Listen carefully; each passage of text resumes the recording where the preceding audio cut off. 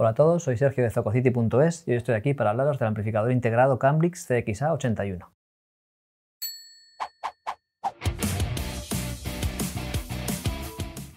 La firma británica Cambridge renueva su anterior modelo CXA80, el cual llevaba en el mercado alrededor de 5 años, y le dota de nuevas funciones, eh, funcionalidades y tecnologías más adecuadas a la, a la época actual en la que estamos. Estas nuevas funciones son Bluetooth integrado con calidad PTX HD, recordemos que en el anterior modelo había que precisar de un receptor externo, el nuevo chip mejorado de la casa ES Sabre y también luego a nivel interno en cuanto a componentes de cara a la amplificación, sección de previo, también ha sido renovado para dar un, mejor sonido.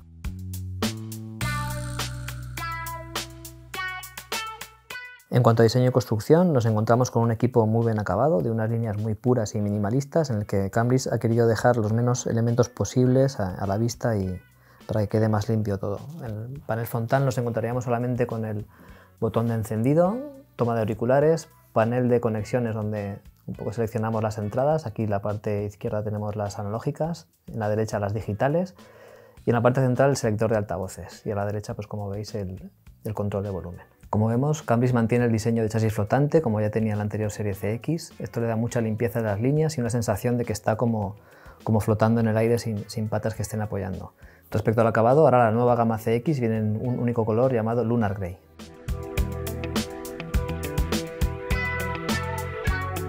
Paso ahora a enseñaros el panel trasero de conexiones para que veamos un poco cómo está de completo este, este Cambridge CX81. Vemos lo, lo, característico de la marca, que lo sigue manteniendo aquí, que es la serigrafía de las tomas, que, para que se vea desde la parte superior. Cuando hagamos algún tipo de conexionado, pues poder verlo cómodamente y no tener que girar a lo mejor demasiado el, el amplificador. Esto es algo característico de la marca que, en concreto está, está, muy bien que lo sigan haciendo. En la parte inferior tenemos las entradas analógicas, empezamos por la entrada balanceada, luego tenemos cuatro entradas analógicas por RCA, contamos con salida de previo y salida de subwoofer también. En el, en el apartado de conexiones digitales pues tendríamos dos entradas ópticas, una coaxial, el USB para conectar a, al PC o Mac y aquí la toma de antena para el Bluetooth. Aquí tenemos un poco también control de salida de trigger para a lo mejor eh, encender una etapa de potencia que tengamos asignada o una pantalla de proyección, cualquier cosa que queramos conectar por, trigger. Las tomas de los altavoces que nos permitirían conectar por bananas o por cable pelado, algo normal, y luego bueno, un puerto RSC 232, un control bus y la toma de, de corriente para conectar a la luz.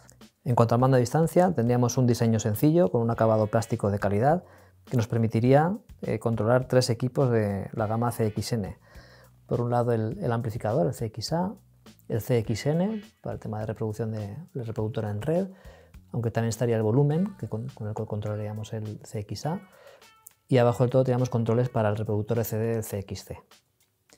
También tenemos control de iluminación para el display del CXA, un mute y, bueno, el botón de encendido y apagado.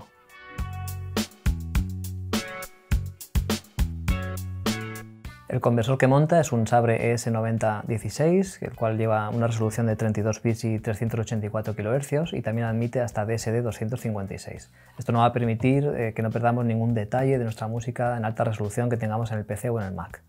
En cuanto a la potencia, el CX81 nos entrega 80 vatios por canal con muy buena entrega de corriente gracias a su toroidal sobredimensionado que tenemos aquí en el, en el centro del, del, amplificador. Esto nos va a permitir mover casi cualquier tipo de caja por exigente que sea que tengamos en, en el mercado.